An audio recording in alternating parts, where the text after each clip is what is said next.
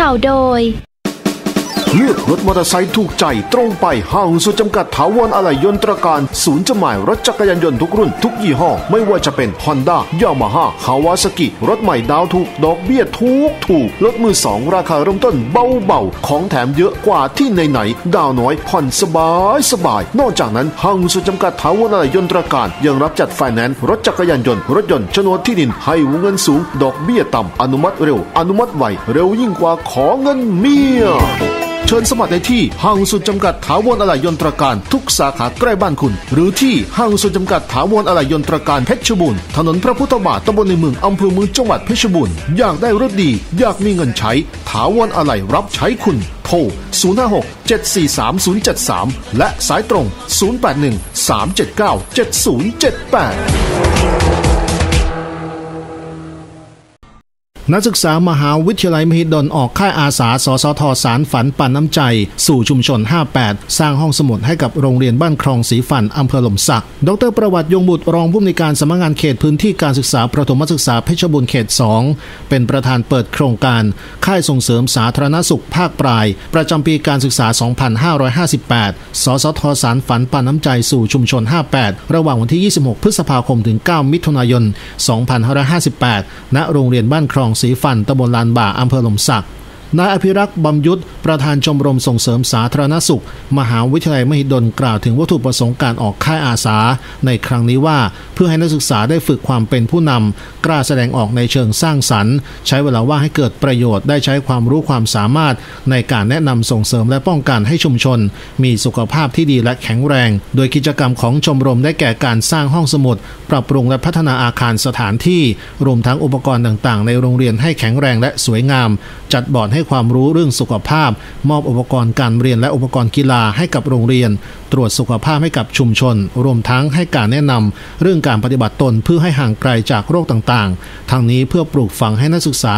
รู้จักการเสียสละและกระทำตนให้เป็นประโยชน์ต่อสังคม และประเทศชาติสืบไป ด้านนายมานิตเรืองน้อยผู้อำนวยการโรงเรียนบ้านคลองสีฟันกล่าวว่า โรงเรียนแห่งนี้เป็นโรงเรียนขนาดเล็กเป็นศูนย์การเรียนรู้ 3 โรงเรียนคือโรงเรียนบ้านคลองสีฟัน โรงเรียนบ้านจังวัง และโรงเรียนบ้านร่องดู มีนักเรียนรวมกันประมาณ 30 คนสำหรับโรงเรียนแห่งนี้สิ่งที่ขาดแคลนและยังต้องการได้แก่ห้องสมุด ห้อง ICT และนับว่าเป็นความโชคดีของโรงเรียนที่คณะนักศึกษา จากมหาวิทยาลัยมหิดล ได้มาออกค่ายอาสาสร้างห้องสมุดพร้อมหนังสือสำหรับให้นักเรียนได้ศึกษาหาความรู้เหลือเพียงห้อง ICT เท่านั้น ที่ยังอยากจะขอรับการสนับสนุนจากผู้ที่เห็นถึงความสำคัญของการศึกษาความรู้ของเยาวชน คณะครูนักเรียนรวมทั้งชาวบ้านต้องขอขอบคุณคณะนักศึกษาที่เห็นความสำคัญในครั้งนี้ และเชื่อว่าห้องสมุดที่ได้สร้างขึ้นมานี้จะเป็นแหล่งความรู้ ให้นักเรียนได้ค้นคว้าและพัฒนาตนเอง เพื่อเป็นทรัพยากรที่ดีของประเทศชาติต่อไปผมนะครับเป็นประธานชมรมส่งเสริมสาธารณสุขนะครับ คือวันนี้ชมรมส่งเสริมสาธารณสุขมหาวิทยาลัยมหิดลเนี่ย ได้มาจัดค่ายที่โรงเรียนบ้านคลองสีฟันนะครับจังหวัดเพชรบูรณ์ก็คือว่าอย่างที่อย่างที่เห็นนะครับคือทางชมรมเนี่ยมีจุดประสงค์คือออกค่ายมาเป็นประโยชน์ในการช่วยเหลือชุมชนช่วยเหลือเด็กที่เขาขาดแคลนจริงๆครับคืออย่างโรงเรียนบ้านคลองสีฟันตอนนี้คือติดต่อมาให้ทางชมรมเนี่ยทำห้องสมุดเพิ่ม ทางชมรมก็เลยลงมาดูแล้วก็ตกลงกันว่าจะมาทำห้องสมุดให้กับโรงเรียนนี้ครับแล้วก็นอกจากนี้นะครับคือทางชมรมเนี่ย ยังมีการปรับปรุงทัศโรงเรียนก็คือทาสีด้วย แล้วก็ทาสีอาคารเรียนทาสีสนามเด็กเล่นแล้วก็ปรับปรุงหลายอย่างครับทำไมถึงเลือกโรงเรียนที่สาเหตุที่เลือกโรงเรียนนี้ก็เพราะว่าทางพอมานิดครับคือติดต่อกับเพื่อนในชมรมไปว่าเนี่ยโรงเรียนเนี่ยต้องการต้องการเกี่ยวกับสร้างห้องสมุดให้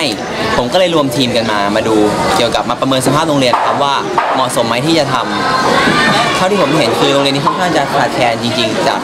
ที่ผมเคยดูมาหลายโรงเรียนคือ โรงเรียนเขาค่อนข้างจะครบกันแล้วเนี่ยโรงเรียนแต่ว่าที่เนี่ยยังขาด อีกหลาย ๆ อย่าง ซึ่งห้องสมุดที่ผมสร้างให้เนี่ยอาจจะไม่เพียงพอได้ซ้ำซึ่งก็ต้องรอจากอีกหลาย ๆ ภาคส่วนมาช่วยเหลือในส่วนที่เหลือใช่ครับ แล้วงบประมาณหรือว่าค่าใช้จ่ายเราเราได้จากไหนครับงบประมาณงบประมาณจากโครงการนะครับ มีรายได้หลักจาก 2 ส่วนครับ คือจากทางมหาวิทยาลัยเป็นเงินสนับสนุนมาแล้วก็อีกส่วนหนึ่งจะเป็นของขอรับบริจาคจากพวกผู้ใหญ่ใจดีครับ เป็นเอ่อเปิดรับกล่องบริจาคครับ ซึ่งอันนี้จะเป็นรายได้ค่อนข้างเป็นรายได้หลัก เพราะว่าเงินที่มหาลัยให้ให้เนี่ยคือมันไม่เพียงพอที่จะมาสามารถสร้างของนี้ได้ครับเพราะว่าการสร้างแต่ละครั้งแต่ละครั้งแต่ละครั้งเนี่ยใช้งบประมาณค่อนข้างหลายแสนบาท มีเด็กทั้งหมดอยู่ประมาณ39คนนะครับ ซึ่งที่นี้จะเป็นศูนย์การเรียนรู้ของท่านผู้ศึกษาของสามโรงเรียนก็คือโรงเรียนบ้านของสุฟันโรงเรียนบ้านจังหวางแล้วก็โรงเรียนบ้านล่องดู ซึ่งโรงเรียนบ้านจังหวางก็นำโดยผู้อำนวยการมนตรีกองคำนะครับ และส่วนของล่องดูก็นำโดยท่านแสงคำเพราะว่าคำนะครับ ซึ่งเป็นรักษาการอยู่ร่องดูได้นำเด็กมาจัดกิจกรรมการเรียนการสอนที่นี่และเราก็มีข้อมูลเกี่ยวกับในหมู่บ้านคือชุมชนที่ได้เข้มแข็งนะครับจะช่วยกันดูแลโรงเรียนแล้วเราก็โชคดีว่าได้มีโครงการนักศึกษามาได้รับการติดต่อจากา นักศึกษาทางมหาลัยมหิดลมาว่าจะอค่ายนะครับ ก็มีตัวเลือกอีกสองสามที่ เราก็เป็นส่วนหนึ่งที่น้องมาสำรวจแล้ว เป็นโอกาสดีของทางโรงเรียนเราที่มาน้องมาร่วมพัฒนาห้องสมุด ซึ่งเราอยากให้ห้องสมุดที่เรายังไม่มีเป็นเอกเทศ เราอยากให้เด็กพัฒนาเรื่องวิชาการ โดยมีห้องสมุดเป็นหัวใจหลักในด้านงานวิชาการ เราก็อยากจะให้ลูกหลานเราอะมีวิชาการมีพัฒนาการทั้งเรื่องอการเรียนรู้เนี่ยไปตามวัตถุประสงค์ของกระวงเป็นโอกาสทางเลือกหนึ่งนะครับที่อยู่ใกล้หมู่บ้านที่ชุมชนนะครับ เป็นโอกาสเลือกหนึ่งให้เด็กอะบ้านพันข้างนอกนอกออกมาเนี่ยได้มีด้านการศึกษาที่ดีแล้วก็โชคดี